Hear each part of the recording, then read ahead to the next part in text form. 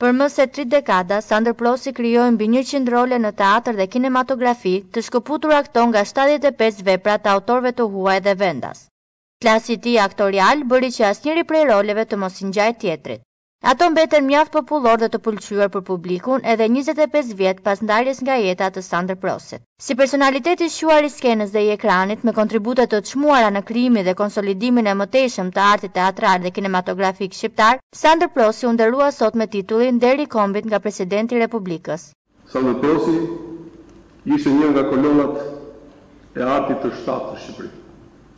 Tek të tillë njerëz ekziston një shkrirje e trefishtë e aktorit me historinë Personazhin dhe fjalën.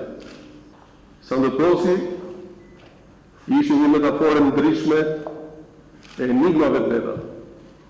Dhe sikurse thonte i madhi Vittorio Gassman, aktori i vërtetë nuk mundet e nuk duhet t'i shmanget detyrës për të qenë mishërim i të gjitha pasioneve, i të gjitha frikave, i të gjitha dobësive të natyrës njerëzore.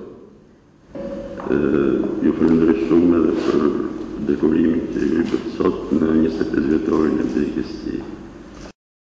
Sandër Prosi vdiq atëherë kur mund të jepte akoma role të bukura skenës dhe ekranit. Me rolet e tij ka lënë një trashëgimi të pasur mes së cilave veçohet Ismail Qemali tek Nëntori i dytë dhe Dhaskal Todri tek Udha e shkronjave.